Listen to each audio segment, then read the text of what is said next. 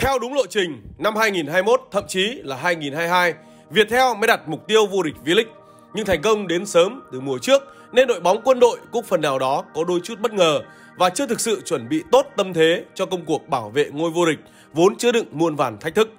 Lãnh đạo đội Viettel đã làm mọi cách trong điều kiện có thể để nâng cấp đội hình, phá vỡ mọi giới hạn bản thân của từng cầu thủ và chiêu mộ được càng nhiều ngôi sao càng tốt. Nhưng như vậy có lẽ vẫn là chưa đủ để đối mặt với các đối thủ rất mạnh trải khắp cả ở ba đấu trường là V-League, Cúp Quốc gia và AFC Champions League. Thất bại ở trận tranh siêu cúp với tỷ số tối thiểu 0-1 trước Hà Nội trong ngày mùa giải mới bắt đầu cũng là lời tiên liệu không lành cho một mùa giải không hề dễ dàng với huấn luyện viên Trương Việt Hoàng và các cộng sự. Phải thừa nhận V-League 2021 là mùa giải khắc nghiệt, thậm chí được dự đoán là khắc nghiệt nhất trong lịch sử của giải đấu này. Quá nhiều những đội bóng được đầu tư lớn, đặt mục tiêu cao và cũng có rất nhiều những câu lạc bộ lắm sao nhiều tiền đều đã thể hiện được tham vọng của mình ở mùa giải năm nay. Hà Nội FC vẫn là đội bóng có nhiều ngôi sao nhất, ổn định nhất và được đánh giá là mạnh nhất Việt Nam. Họ chính là đối thủ trực tiếp của Viettel trong mọi cuộc đua ở sân chơi quốc nội. Hoàng Anh Gia Lai đang sở hữu 7 tuyển thủ quốc gia và với sự có mặt của huấn luyện viên Kiatisak, đội bóng Phú Núi càng trở thành một ẩn số khó giải mã. Đáng cảnh giác hơn là Zico Thái tuyên bố đưa Hoàng Gia Lai dự AFC Champions League năm tới và gắn thêm một ngôi sao nữa trên logo của đội bóng. Cả hai yếu tố này đều ám chỉ Hoàng Gia Lai đặt mục tiêu vô địch.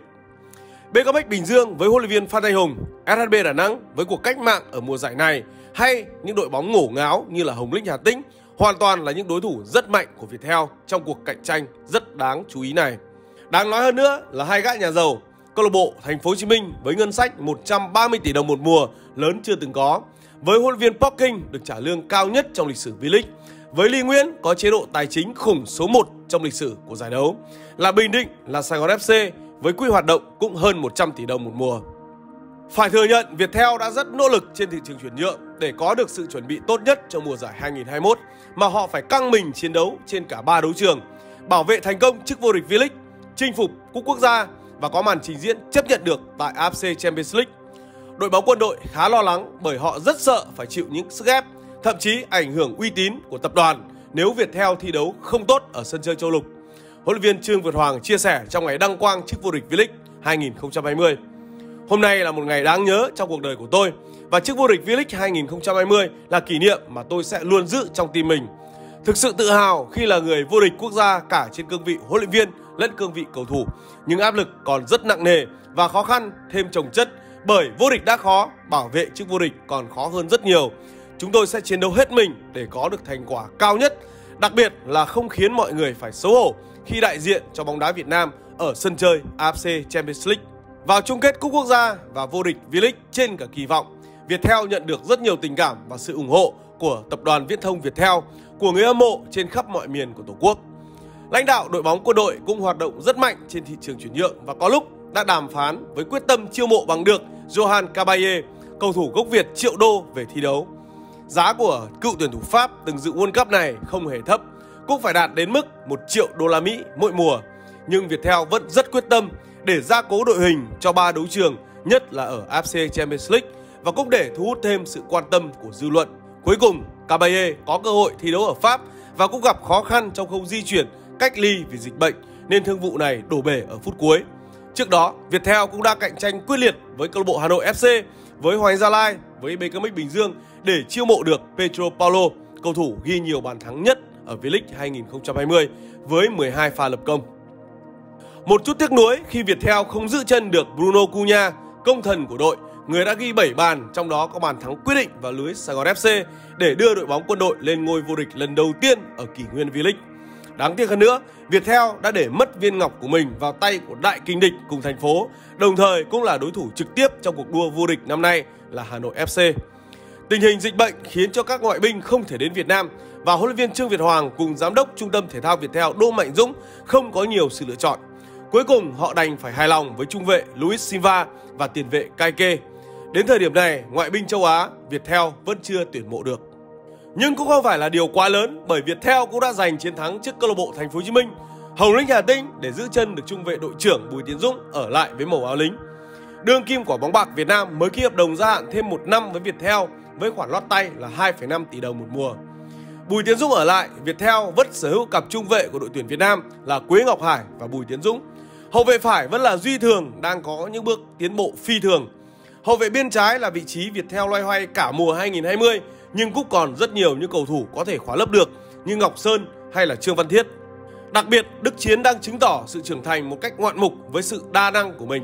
Chính huấn luyện viên Park Hang-seo cũng thừa nhận Đức Chiến có thể chơi được ở rất nhiều vị trí và là mẫu cầu thủ mà mọi đội bóng luôn cần. Hiện nay chỉ còn mỗi vị trí thủ môn là Đức Chiến chưa chơi, còn lại tuyển thủ quốc gia này đều đảm nhận rất tốt các vị trí được giao. Mùa trước, chính Đức Chiến đã khiến cho Quang Hải mất tích. Hà Nội FC buộc lòng phải chia điểm với Viettel trong một trận đấu mà đội bóng khoác áo lính bước thêm một bước dài lên đỉnh cao vinh quang. Hàng tiền vệ thực sự là sức bật, là lợi thế của Viettel với hàng loạt những ngôi sao đang đạt độ chín và độ hoàn thiện từ kỹ thuật, chiến thuật cho đến tư duy và bản lĩnh.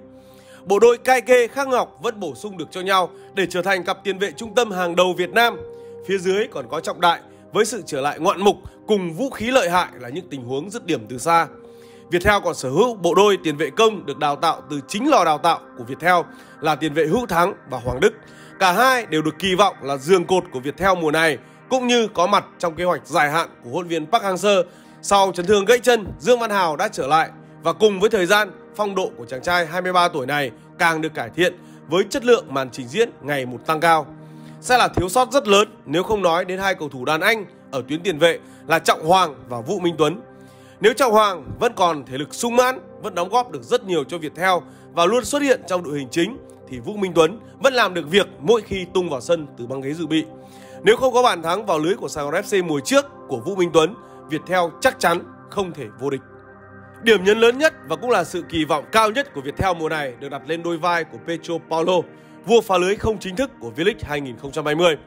Phải nói là rất khó khăn đội bóng quân đội mới chiêu mộ thành công tiền đạo người Brazil và để tưởng thưởng lại, Pedro Paulo đã rất chuyên nghiệp và tập luyện một cách chăm chỉ, hăng say, nỗ lực thể hiện mình để tìm tiếng nói chung với các đồng đội để hiểu triết lý bóng đá và văn hóa của đội bóng mới. Dù mới tập với Viettel chưa nhiều, nhưng trong những trận đấu giao hữu hay trận siêu cúp gần đây, vũ công Samba trên hàng công này đã thể hiện được nhiều tố chất về mặt kỹ thuật, tốc độ, đặc biệt là sự nhiệt huyết, tinh thần trách nhiệm cao của mình với đội bóng, với đồng đội. Pedro Paulo bảo, tôi mới đến Viettel nhưng tôi đã hòa nhập rất nhanh với cuộc sống và bóng đá cũng như văn hóa nơi đây. Tôi cảm thấy hạnh phúc bởi mỗi ngày tôi đều hiểu hơn về triết lý bóng đá của ban huấn luyện, hiểu hơn về cách chơi bóng của các đồng đội. Viettel có rất nhiều những cầu thủ giỏi, khát khao và mạnh mẽ. Cùng với nhau, chúng tôi quyết tâm thể hiện hết mình trong mọi mặt trận mà chúng tôi góp mặt. Nhìn vào Viettel, chúng ta dễ dàng nhận thấy một đội hình toàn ngôi sao, rất nhiều ngôi sao của đội tuyển quốc gia và các ngoại binh cũng chất lượng rất cao. Nhưng điều tạo ra thành công của đội bóng khoác áo lính chính là sức mạnh tổng lực của cả một hệ thống chứ không chỉ của ban huấn luyện hay các cầu thủ thi đấu dưới sân. Tính tổ chức, tinh thần đồng đội theo đúng bản sắc của quân đội nhân dân Việt Nam mang lại sức mạnh và triết lý thành công cho Viettel. Mỗi tuần, giám đốc trung tâm bóng đá Viettel Nguyễn Mạnh Dũng đều có những buổi sinh hoạt chuyên môn với ban huấn luyện, với các cầu thủ hòng nắm bắt được mọi suy nghĩ để từ đó đưa ra được những điều chỉnh hợp lý. Huấn luyện viên Trương Việt Hoàng, trợ lý Hải Biên rất sâu sát với các cầu thủ, điều chỉnh từng động tác, nhắc nhở từng nét chiến thuật trong mỗi một tình huống, trong mỗi một buổi tập.